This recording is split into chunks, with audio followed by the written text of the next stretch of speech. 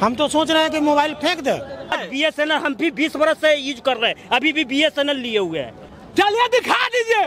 किसी बिहारी को दस हज़ार से ज़्यादा तनख्वाह होगा ना तो हम यहाँ बिहार हार मानिए चलिए। चार साल से मेरी तनख्वाह आठ हज़ार रुपया है। और एक सौ पचपन रुपया डलवाता हूँ जिसमें पंद्रह दिन मोबाइल मेरा बंद रहता है। रहिएगा एक मिनट।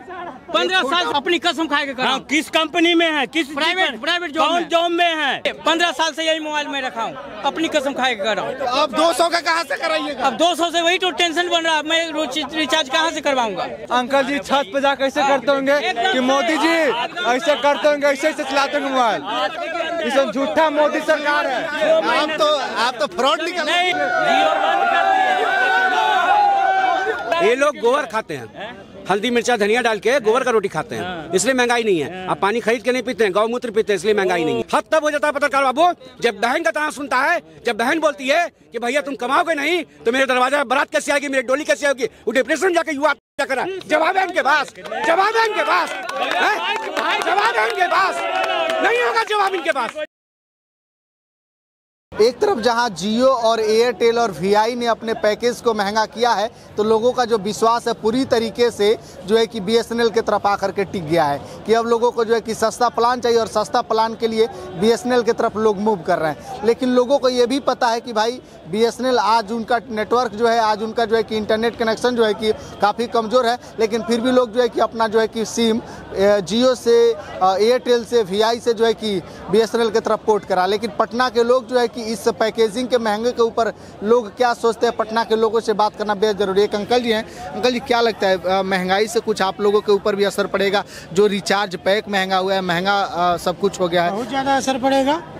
महँगाई का होता है पाँच परसेंट दस परसेंट।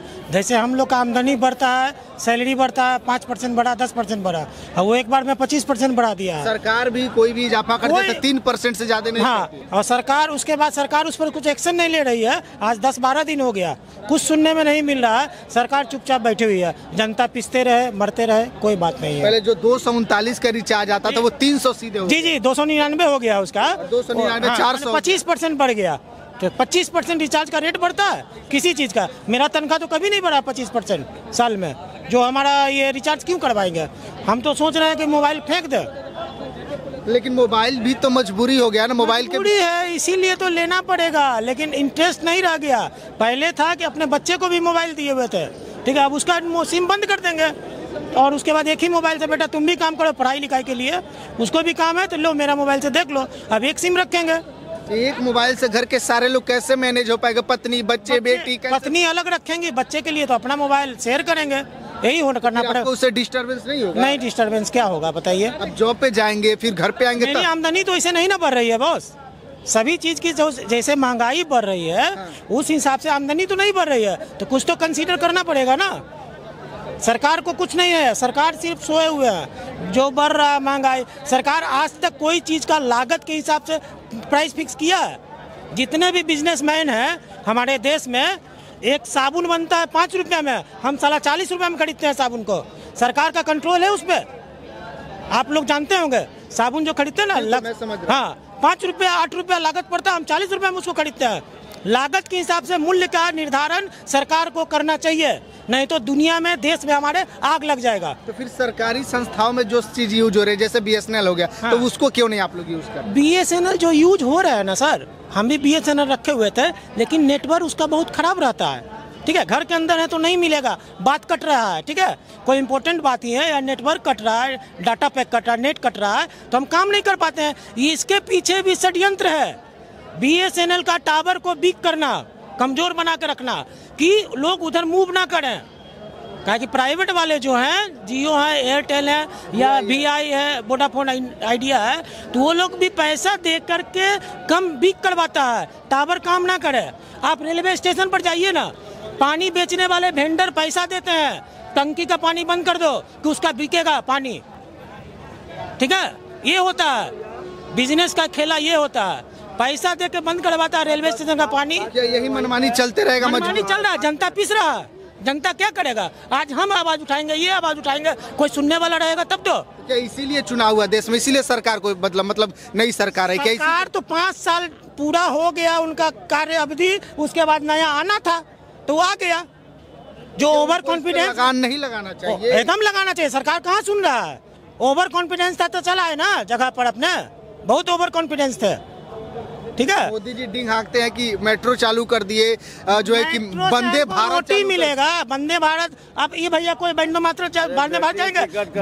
हम यहाँ से गया जाएँगे पच्चीस रुपया और पचास रुपया टिकट में जाएँगे। दो घंटा लगेगा। वंदे भारत में डेढ़ घंटा लगेगा। तो आधा घंटा के लिए हम क्या छह सौ रुपया का टिकट कटाए? कौन आदमी कटवाने वाले हैं बताइए? जिनके पास फ्री का पैसा है जो पाँच रुपया का साबुन चालीस रुपया में बेच रहा है। ठीक है? तो क्या बीएसएनएल को कम नहीं कराया जा सकता? नहीं बैक करवाने के लिए सरकार को ध्यान देना पड़ेगा। सरकार उसके प्रति ठोस कदम उठाए उसके जैसे प्राइवेट स्कूल में बच्चे पढ़ के 80 परसेंट लाते हैं ठीक है? अब सरकारी स्कूल में बच्चे जो है पढ़ाई उनका नॉलेज नहीं रहता है कंपटीशन फेस नहीं कर पाते हैं ठीक है? तो उसी तरह से सरकार ठोस कदम उठाए या तो बीएसएनएल के प्रति कि बढ़िया से काम करे उनका नेटवर्क बढ़िया रहे तो क्यों नहीं बीएसएनएल राइज करेगा?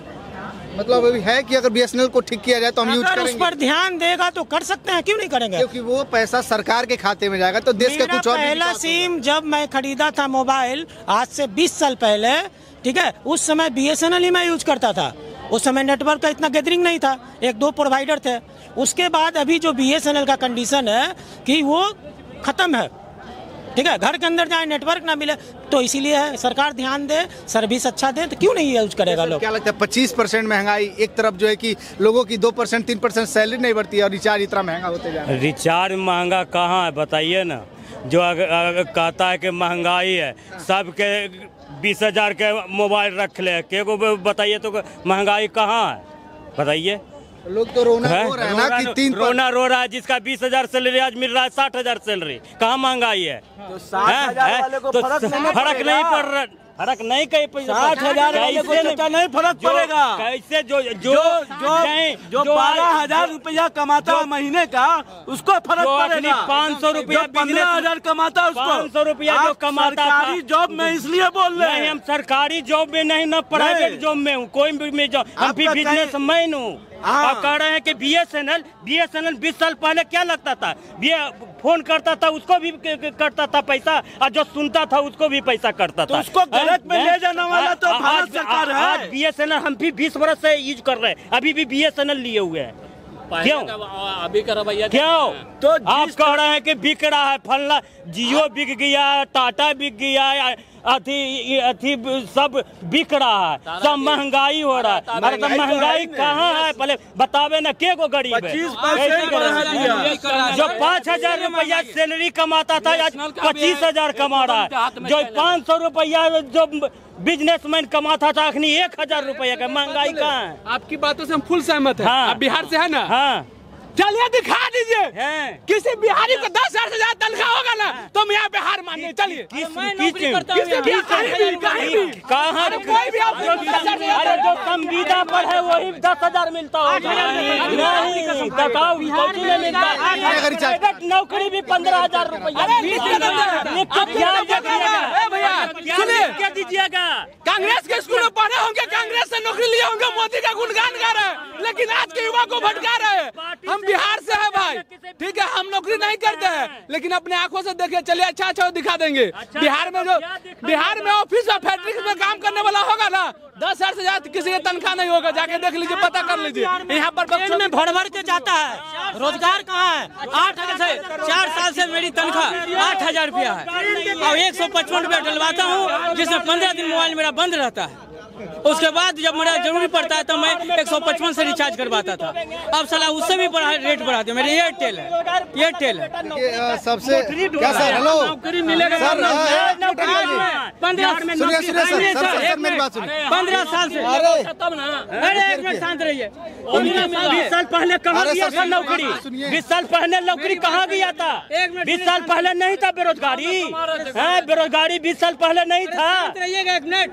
पंद्रह साल से मोबाइल यूज़ कर लेकिन इनका ही कहाँ से रिचार्ज करा? आठ हज़ार। हाँ। अपनी कसम खाए के हाँ, कहा किस कंपनी में है? किस प्राइवेट- प्राइवेट जॉब कौन जॉब में है?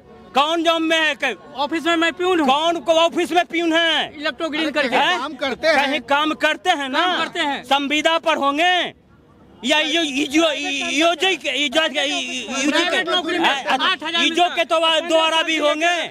बहुत ऊपर महँगाई की मार है कि नहीं ये बताइए? महँगाई महँगाई की क्या मार है? मतलब ये आठ हज़ार रुपये कह रहे हैं कि हम बीस रुपये महँगा अस्सी रुपए किलो प्याज तो केकर अभी नहीं अस्सी रुपये अस्सी रुपये अस्सी रुपये प्याज अभी किसान बेच रहा है बेच रहा अभी भी किसान सुनिए सुनिए चुप रहिए। बात नहीं गलत गलत बात नहीं सर मेरी बात सुनिए अंकल जी आप रुके रुके आप एक बार आप एक बार हमारे साथ एक मिनट आप हमारे साथ एक बार मुसलमपुर हाल चलिए जो बच्चे पढ़ने वाले हैं ना वो आपको अच्छे से जवाब देंगे। हाँ। जिनके घर से दो हज़ार रूपए महीने का आता है ना वो जवाब देंगे कि महँगाई क्या होती है। वो जवाब देंगे कि तीन सौ में कैसे रिचार्ज महँगा कुछ नहीं है महँगाई। महँगाई हम तो कर ले हैं। आप लीटर दूध आता है। बिज़नेस करते हैं बता रहे हैं ना बिज़नेस मैन है तो ये तो अपना रेट बढ़ा दिए। इनको क्या कमी? जो नौकरी करता है बंधा हुआ पैसा आ रहा है उसको ना समझ में आएगा। आपको कोई दो महीना पहले प्याज था पच्चीस रूपए किलो। जो कहा है जो आपका आज प्याज हो गया सत्तर अस्सी रुपए किलो। तो इनको क्या फ़र्क पड़ेगा? अपना सामान को बेचेगा आज दस दस बारह साल से हाफ़ लीटर दूध मेरे पास आता है। हाफ़ लीटर दूध। यही मोबाइल रखे हुए हैं। आज तक। इसमें कितने का रिचार्ज कराते हैं? एयरटेल है। कितना रुपया का रिचार्ज एक सौ पचपन का। बंद हो गया एक सौ पचपन नहीं अब तो खत्म हो गया मेरे चिंता हाँ दो सौ हो गया। भारी उनको टेंशन अच्छा तो एक सौ पचपन रुपया जब था तो हमेशा रिचार्ज कराते नहीं नहीं। दस दिन पंद्रह दिन बाद करवाते थे बंद होने के बाद। मोदी के वोटवा देवे महँगाई नहीं हुआ। कुदा कुदा के वोट है। मिनट मोदी जी समझते हैं कि हम रईस हैं बीस हज़ार के सूट पहनते हैं डेढ़ लाख के पेंट खोलते हुए हैं तो हमारे जैसा सब है। तो महँगाई उनके लिए कुछ नहीं।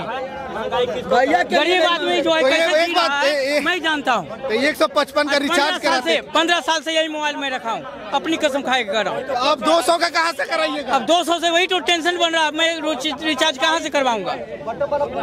भारी टेंशन बन गया। 155 तक किसी तरह ठीक था लेकिन वो भी ज़्यादा था। लेकिन 200 हो गया है मैं अब लग रहा है कि मोबाइल अब 20 दिन 15 दिन बंद परिवार से बाल बच्चों से पत्नी से कैसे बात होगा फ़ोन से? बंद रहेगा ज़्यादातर बंद रहेगा बहुत ज़रूरी होगा तो मैं रिचार्ज करवाऊँगा नहीं तो मोबाइल मेरा एयरटेल बंद रहेगा। सिम बंद हो जाएगा तीन महीना बाद तो क्या करिएगा सिम बंद हो जाएगा तीन तीन महीना महीना में नहीं आने दूँगा जब तीन महीना होने वाला रहेगा तो मैं एक बार डलवा लूँगा करवाना पड़ेगा। करवाना पड़ेगा। मजबूरन।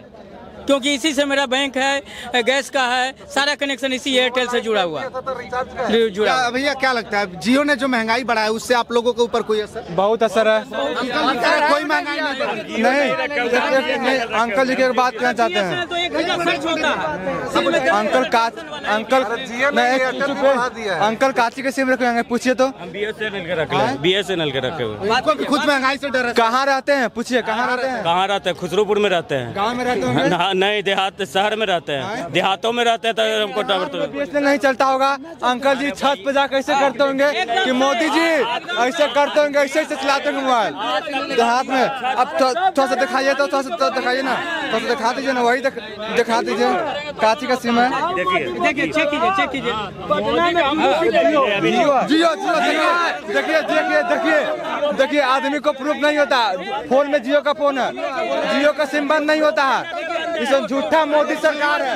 आप तो आप तो फ्रॉड निकल नहीं छह महीना से बंद कर दिए जियो। जियो बंद कर दिए।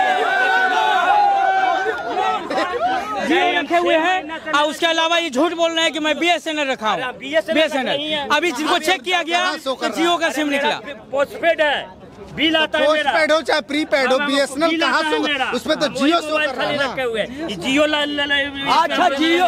भैया जियो जियो यूज़ नहीं किए जियो यूज़ नहीं जियो एयरटेल तो तो महँगाई से कोई दिक्कत नहीं तो जियो यूज़ करने में क्या हम हम हम महकाला में एक सिम रख ले तो पंद्रह सिम कहाँ रखेंगे तो आप कह रहे हैं कि महँगाई से हमको कोई दिक्कत ना कह रहे हैं ना। तो फिर जियो चलाइए ना पाँच सौ का रिचार्ज करा काहेला काहेला हम रिचार्ज करा मतलब आप 200 का recharge B S N L का हम बिल दे ही रहे तो हम काहेला जियो लेके रखे?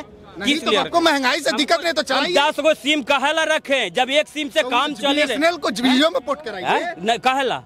तो यानी आपको दिक्कत है महँगाई नहीं महँगाई में कोई दिक्कत नहीं है। कमाने वाला को कोई दिक्कत है न कमाने वाला को सब दिक्कत है। कहे तब 200 में आकर रुके हैं। कहा 500 वाला रिचार्ज करें। न कहा दो सौ रुपये।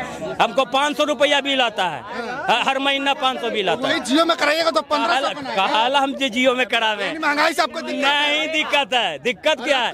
महँगाई का दिक्कत हम तो एक ही चीज़ कहें कमाने वाला को कोई दिक्कत नहीं है न कमाने वाला को बहत्तर दिक्कत है। ए भाई ए भाई जो। देखिए देखिए देखिए देखिए। जो जिम्मेदार होता है उनके पास दिक्कत होता है। बिना ज़िम्मेदारी वाला कोई दिक्कत नहीं होता। है उनसे पूछिए जो अपने दो बेटा पढ़ाते होंगे और रिचार्ज कराते होंगे महीने को बेटा को कराने के लिए देते होंगे उनसे पूछिए। इनसे क्या पूछिएगा? इनको खुद अपने रिचार्ज नहीं चला रहे हैं कह रहे हैं हैं। हैं। तो वही लोग बता रहे हैं। अगर एक होता है ना भाई भाई सुनिए